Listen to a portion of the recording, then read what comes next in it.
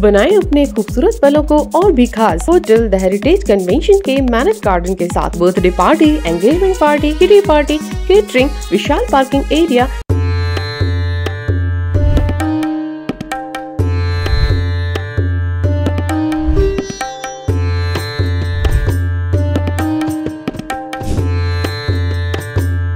सावन के पहले सोमवार को सागर शिव की भक्ति में डूबा हुआ नज़र आ रहा है।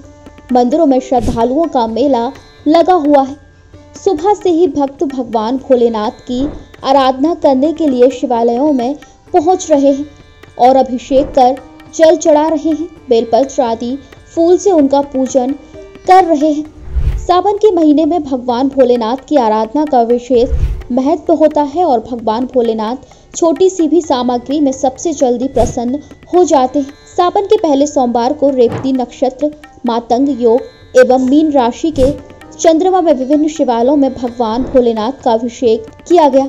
शहर के सबसे प्राचीन श्री देव भूतेश्वर मंदिर में बड़ी संख्या में शिव भक्त पहुँचे। वहीं इसके अलावा घनेश्वर, नागेश्वर, रामेश्वर, नीलकंठेश्वर में भक्तों का सैला उमड़ा। वहीं बड़े बाज़ार स्थित श्री देव धनेश्वर मंदिर और बाल भोले घाट में भी भक्तों को भगवान शिव का अभिषेक करने के लिए दूध गंगा जल और बिलपत्र निःशुल्क वितरण किए गए।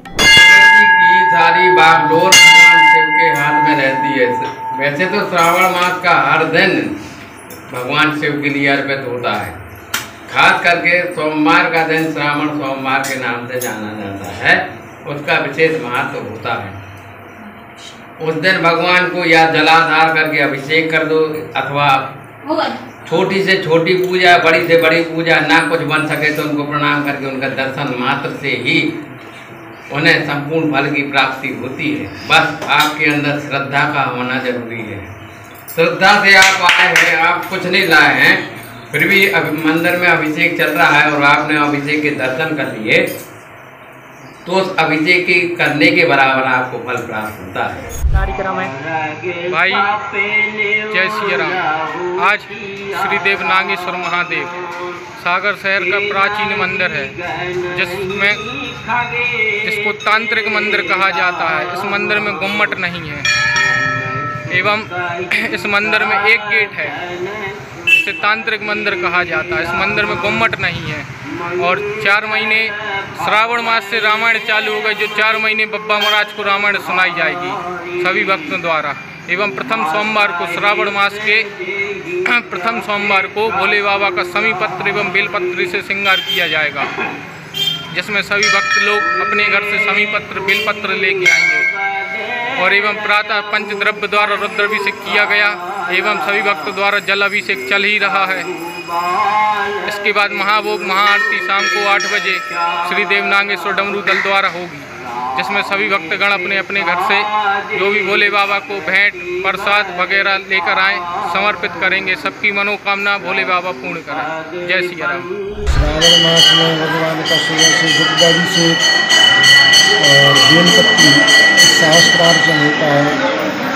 भगवान का एक हज़ार उसमें बेलपत्री एक हज़ार पुष्प और दुग्ध से अभिषेक करके फूलों से भगवान का श्रृंगार भस्म आदि चढ़ाई जाती है। और कावड़ यात्रा वाले जो हैं, गर्भांश से नर्मदा जल ला के यहाँ भगवान मुकेश्वर को चढ़ाते हैं करते हैं। लास्ट में फिर भोग लगता है, आरती प्रसाद वितरण होता है, भंडारा होता है। दर्शन करते हैं।